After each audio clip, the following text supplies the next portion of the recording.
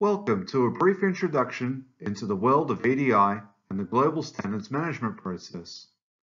In this presentation, I will cover what is EDI, including its origins, why we use EDI, and GS1's role in EDI and standards development.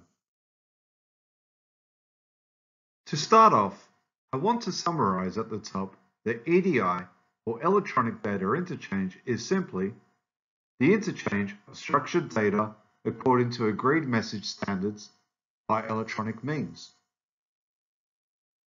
But before we delve any further into EDI, let's take it further back. How far back? Since the dawn of time, we have been communicating to each other with messages using cave paintings, smoke signals, hieroglyphics, and stone tablets. And as you can see, not much has changed. No matter how primitive or advanced the method, somehow there had to be an agreement in language for communicating and a method to communicate a message. EDI also follows these basic principles, but with the world today, there is a requirement to extend this for electronic communication, primarily for business purposes. So how did EDI come about? But when it comes to origin stories, EDI has a very interesting one. After the conclusion of World War II, East Berlin was controlled by Soviet Union. The introduction of the Deutschmark on the 18th of June in 1948 was not a welcome one for Soviet Union, so the day after this occurred, trains and traffic were halted, land and water connections were severed, and West Berlin was left with 36 days worth of food and 45 days worth of coal. In one day, the whole supply chain stopped. This was known as the Berlin blockade. Although ground routes were in dispute, the same was not true for the air. A prior agreement was put in place in 1945, post-World War II, that cargo aircraft were not a threat. This was an opportunity to help those who live in East Berlin, but it also posed huge challenges. As well as agreements in language for communicating and a method to communicate a message, there was a need for speed which was impossible without change. There were different shipping manifests, different languages, and how do we ensure we are sending the right supplies to needy people? All of these factors were a cause for delay when time was crucial. A standard was born at a time of need to save lives by US Army Sergeant Edward A. Guilbert. In those 318 days, the Allies had conducted more than 277,000 flights to West Berlin, bringing in more than 2.3 million tons of supplies. Guilbert didn't forget the value of standards manifests, and in the early 1960s, he developed a standard set of electronic messages for sending cargo information between DuPont and a carrier, Chemical Leaman Tank Lines. By 1968, so many railroads, airlines, truckers, and ocean shipping companies were using electronic manifests that they formed the Transportation Data Coordinating Committee, also known as the TDCC, to create cross-industry standards, and in 1975 they published its first electronic data interchange specification.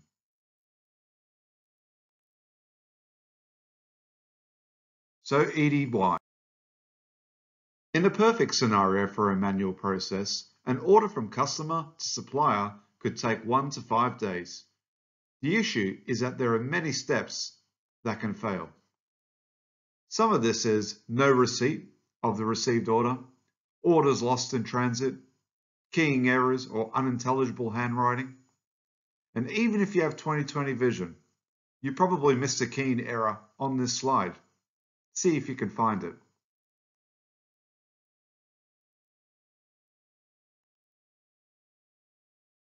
There are some common misconceptions of what EDI is. To try and drive home what EDI is, I thought it would be useful to highlight what it is not. Electronic transactions occur daily, whether it is by sending mail, going to the cash point, or buying bread at your convenience store. None of these are EDI for many reasons. There's no standard around sending a file, and there's not transmitting any business to business data. It is also not just an IT function. IT is merely a mechanism for sending data and removing human error. EDI is more than just sending data.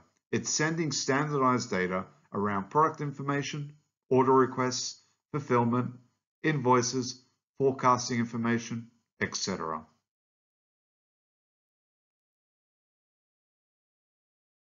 So in an electronic world, the journey of an EDI transaction ensures that any messages sent to a company is not only received, but without any human-prone errors. To achieve this, companies invest in software that can convert in-house data into a standardized format to be sent electronically and securely to another organization. Any disputes about the content of the message can also be handled using the same architecture. Not only that, the amount of time savings are made through reduced phone calls, fax, posts, and emails, reduced stock levels, disputes, data errors, administration, and compliance checks. There's also an increased collaboration, improved forecasting, and faster payment. And we all know that time is money in business. In the next few slides, I will go through some of the EDI standards that exist out there and which ones GS1 provides support and maintain. As you can see, there are several standards that GS1 support today. One of those maintained is a byproduct of the other. GS1 EANCOM is a subset of the larger UN CE-FACT standard, but development is constant and with exciting new areas such as semantics, data models, APIs, etc. Generally, these EDI types incorporate the GS1 standards of physical identification of trade items and logistic units using GTINs and global location numbers to help identify the trading partners into the electronic messages. These EDI types allow integrating the physical flow of goods with related information sent by electronic means. For GS1 EANCOM, these are some of the more common messages transacted. We have PARTIN, which is location information with related operational, administrative, commercial, and financial data. Orders, which is orders, goods, of services, and specific relevant quantities, dates, and locations of delivery. Dispatch advice, which specifies details of the goods dispatched under agreed conditions. It also informs the consignee what materials were dispatched and when, allows prepared goods receipts and cross-check with orders. Invoice is sent by the seller to the buyer claiming payment for goods or services supplied. HANMOV sent to a logistics service provider to identify handling services on products and optionally the movement of specified goods. Here is a typical EANCOM message which, as you can see, is a little hard to read with the naked eye. The first three characters in each line describe the type of data. For example, DTM stands for date, time, month, QTY is quantity, and NAD is name and address. There are also several GS1 keys in the message, which we can all agree is very important.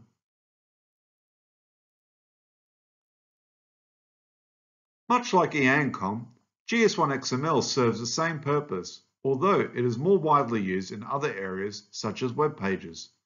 Below are some of the common message types, which is not much different than EANCOM. The intended result is the same, but the language is very different. In this example of an XML message, you can easily identify what each line is trying to describe. You will always have an open tag at the start of a line, the detail or content, followed by the closing of the tag which tells the machine to move on to the next line. EANCOM typically uses an apostrophe at the end of the line instead. And as always, GS1 keys are always important, no matter the message type.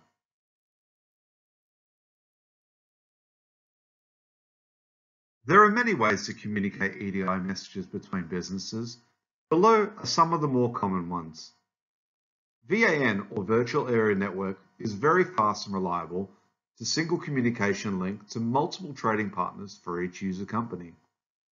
It's very secure with password control access, validation of sender and receiver, and control of message integrity. The downside is that VANs are often perceived as too expensive and difficult to integrate for smaller user companies. Increasingly, EDI communication is performed by the internet. It's being used more and more for classic EDI. It requires additional care for security and reliability issues.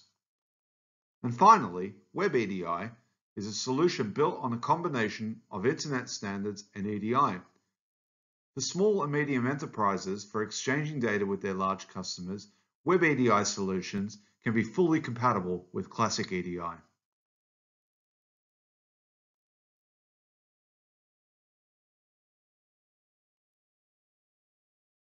Before we get into the GSMP, let's take it back a step.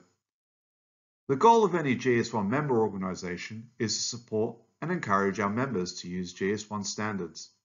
For EDI, we can drive change through an industry initiative, usually through multinational companies, or assist specific retailers and suppliers with use cases that the standards may not cover today.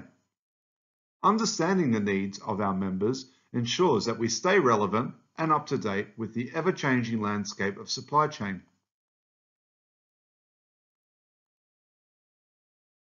How we do this is through the Global Standards Management process. There are several GSMP groups for barcodes, master data, images, and EDI is no exception. This is a forum on developing and raising business needs for an industry, member, and even country-specific requests to other GSMP members who are subject matter experts in EDI. Deliverables are created through a four-step process of steering, requirements, development, and collateral. There are a set of principles in blue which are intended to ensure fairness and broad acceptance.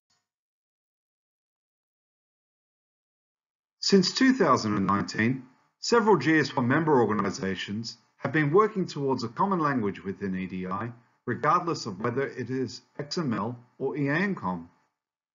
As I've mentioned previously, and in the near message examples, the information conveyed is the same.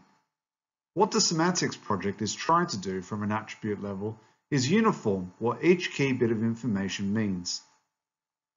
This project has many GS1 member organizations as contributors, including Germany, Sweden, France, United Kingdom, and Global Office.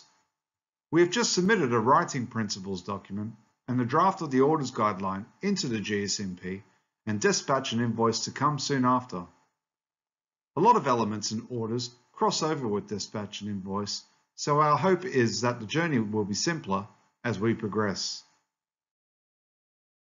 Finally, GS1 standards are used by nearly 2 million businesses around the world. More than 5 billion GS1 barcodes are scanned every day, and EDI is central in ensuring businesses can communicate to each other at the speed required for supply chain for today and tomorrow. This concludes the video on a brief introduction of EDI and the GSMP. I hope you enjoyed this presentation.